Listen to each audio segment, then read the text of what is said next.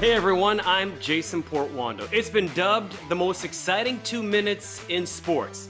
This year's Kentucky Derby is right around the corner, and it's inspired me to give you my top five from the last 10 years under the Twin Spires. The countdown begins in 2012. It was a year of firsts, literally. I'll have another. A $35,000 purchase would give jockey Mario Gutierrez and trainer Doug O'Neill their initial Derby wins. And he was also the first, and to this day, only horse to win from post 19. Here's the wire!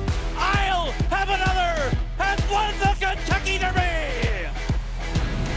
Hall of Fame trainer Shug McGaughey has tasted a lot of success in big time races but the Derby wasn't on that list until 2013. The Kentucky native would watch his horse Orb weave through traffic in the goo under jockey Joel Rosario, grabbing the victory and my four spot. As they come down to the 16th hole, it is Orb in front, down to the wire. Orb has won the Kentucky Derby. At number three, it's a horse that became the first Calbred in 52 years and just fourth overall to win the Kentucky Derby. Uh, in the process, California Chrome, the favorite, prevailed and made trainer Art Sherman the oldest ever to win a Derby at age 77. California Chrome into the final furlong. California Chrome shines bright in the Kentucky Derby. The runner-up in my top five features a stretch-long battle which eventually went to the crowd favorite, a homebred by the name of American Pharoah. That crowd, by the way, a record 170,513 somehow squeezing their way into the Louisville racetrack to watch Bob Baffert get his fourth. It's American Pharoah in front, firing line. Dortmund is third, Frosted is fourth. Coming to the finish, American Pharoah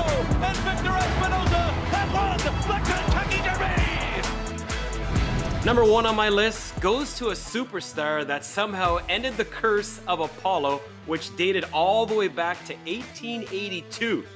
He was the last horse to win the Derby despite missing out on his juvenile campaign. Then along came Justify. He was up on that hot pace 22 and 1, 45 and 3, 111 flat over the slop, and somehow still had enough gas left to fuel a performance for the ages. They're coming to the wire. He's just awesome. Justify has won the Kentucky Derby. Hard to believe that's the only time Hall of Famers Mike Smith and Bob Baffert combined to win a Kentucky Derby. Justify would go on to become the 13th and most recent U.S. Triple Crown winner. That's a look at my Kentucky Derby top five moments. Hopefully, you enjoy this year's race. I'm Jason Portwan.